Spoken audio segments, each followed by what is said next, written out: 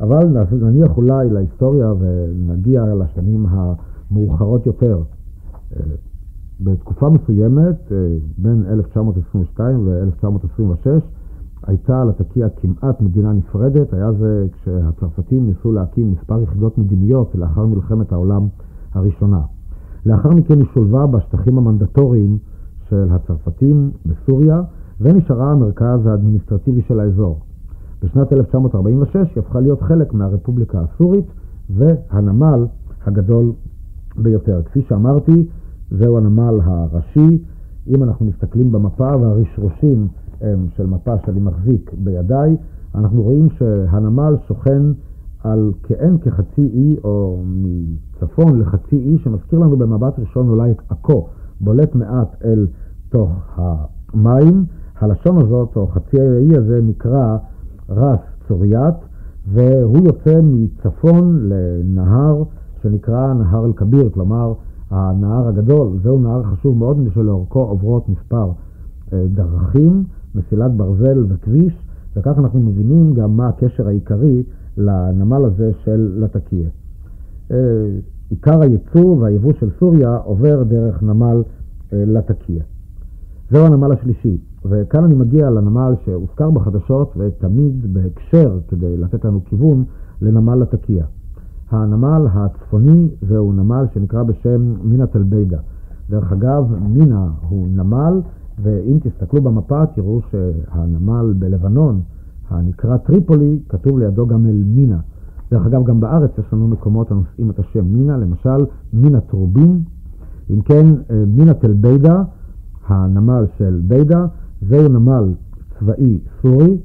אה, אם אנחנו מסתכלים במפה, אנחנו רואים שאין כמעט דרכים שמקשרות את הנמל עם השטח האזרחי. כל האזור הוא אזור חקלאי מיושב בדלילות, והאדמות מעובדות שם בחלקם עיבוד עונתי, וחלק אה, ישנם כמה מטעים. אה, הדרך הראשית מקשרת את הנמל עם הנמל העיקרי לתקיע עם עוד כמה מסעפים. אם כן, זהו הנמל הצבאי ששמענו שהופצץ, הנמל הסורי.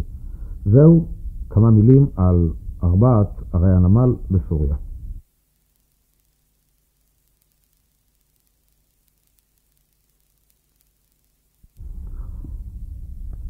שלום לכם.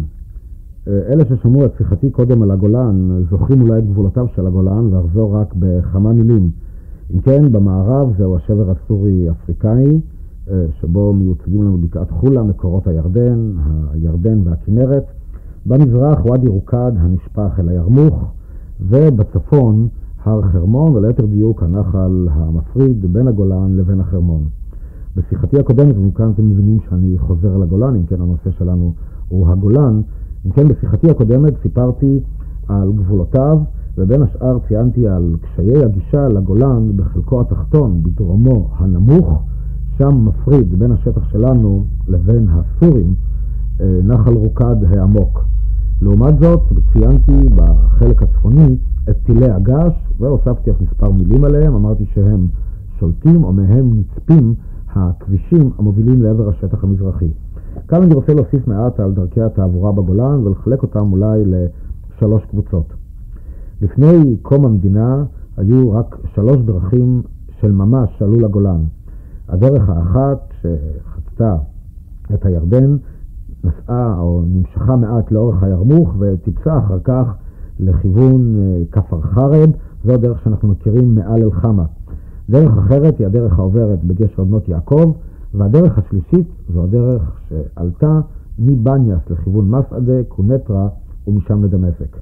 מדוע רק שלוש דרכים? כן, דומני שאת השטח שלנו מכירים כולם. אם ציינתי שהדרך הדרומית ביותר הייתה מדרום לכנרת, הרי מהדרום ועד הצפון הפריעה הכנרת להתפתחות דרכים נוספות. מהכנרת ועד גשר בנות יעקב, הירדן זורם באפיק עמוק ולכן היה קשה לחצות אותו שם. ואילו מגשר בנות יעקב וצפונה היה גם החולה, וביצות החולה שלעיתים היו מתפשטות כמעט עד לדרך. כך שהיו אולי כמה דרכי עפר, אבל לא היה להם לאן להימשך במערב. המצב נשתנה קצת לאחר ייבוש החולה, אבל עדיין לא במסגרת הדרכים. במסגרת הדרכים נשתנה רק לאחר מלחמת ששת הימים, כשהתיישבנו בגולן, ודומני שרבים מכם טיילו כבר בחלק מן הכבישים החדשים העולים אל הגולן, ואשר לא הפריעו להם יותר המגבלות הטבעיות שציינתי. כן, אלה הדרכים הבאות ממערב. לאורכו של הגולן, בקו כללי מצפון לדרום, ישנם שני צירים עיקריים. הציר האחד זהו ציר שמצוי פחות או יותר במרכזו של הגולן, חלקו סלול וחלקו לא סלול. זהו ציר שהולך מח'אן אל-ג'וחדר לכיוון חושניה, מקום שהיה בחדשות לפני יומיים, ומשם ממשיכה דרך עפר לכיוון כפר נפח והלאה צפונה לווסת, ואם אני אומר ווסת, שפירושו מרכז, בדרך כלל זה שם שאנחנו מוצאים אותו בצמתים. ומווסת לכיוון מסעדה, כלומר צפונה עד לחרמון. זוהי דרך אחת שכפי שאמרתי בחלקה סלולה, בחלקה לא. דרך עיקרית אחרת, כיוונה הוא לא מדויק מצפון לדרום, זהו הכביש הראשי של הגולן שעובר בין שני טילי הגעש שהזכרתי בשיחתי הקודמת. שוב, הכביש יוצא ממסעדה, יורד כלפי דרום עד קונטרה, מקונטרה ממשיך כמעט בקו ישר דרומה, ולפני הכפר רפיד סוטה לכיוון דרום-מזרח עד למסעף רפיד, ומכאן מקבל את כיוונו של ואדי רוקד, דהיינו דרומה מערבה. זהו הציר שדרכו אנחנו נעים מרפיד, מרפיד לכיוון גוש היישובים הדרומי. עכשיו לגבי הדרכים העוברות מזרחה. שוב נזכיר את שיחתי הקודמת. בדרום הגולן אין הרבה אפשרויות לבוא מן המזרח, כי אפיקו העמוק של הרוקד הוא שמפריע. לכן סיפרתי גם שהסורים שפרצו לדרום הגולן באו מהכביש המוביל מהכפר שייח' מסכין מכיוון הר הדרוזים למסעף רפיד, ומשם פנו בכביש המקביל לרוקד. ישנן עוד כניסות אחדות, חלקם כבישים, חלקן דרכי עפר. עוד דרך אחת, דרך עפר, אבל ששימשה גם כן חלק מן הגייסות, היא דרך הנכנסת ליד הכפר סחטה, דרומה קצת למג'דל שמס וקצת צפונה למאסדה או לבריכת רם. אבל הדרך העיקרית, ללא ספק, זו הדרך המובילה מקונטרה לעבר דמשק. בעיקרון, אם לא ציינתי דרך אחת, או אם uh, הייתי ממשיך ומספר על עוד דרכים, היינו רואים תופעה מעניינת. מלבד כביש אחד ואולי עוד מספר דרכים המובילות אותנו לעבר הר הדרוזים, כל הדרכים מתנקזות לעבר דמשק. גם משום דמשק הבירה וגם משום התנאים הטופוגרפיים המצויים קצת מזרחה יותר, אבל על כך בהזדמנות אחרת.